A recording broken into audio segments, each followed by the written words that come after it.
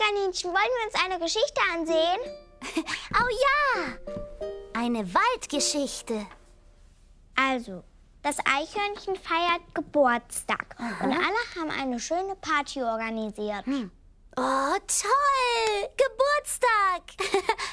Aber das Eichhörnchen ist ja ganz alleine. Wo sind denn alle? Leider ist das Eichhörnchen so vergesslich, dass es vergessen hat, wo seine eigene Party ist. Oh nein, das arme Eichhörnchen. Jetzt hat es niemanden, mit dem es feiern kann.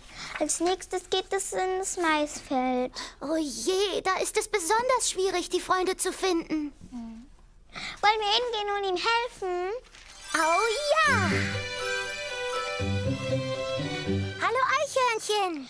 Alles Liebe zum Geburtstag. Komm, wir suchen deine Freunde. Ja, los, komm.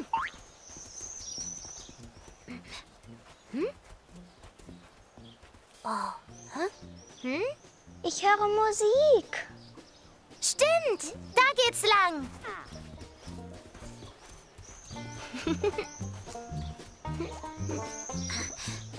Da sind deine Freunde.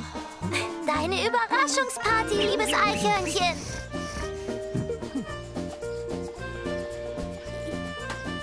Oh, wie toll. Jetzt lass uns feiern. Ja!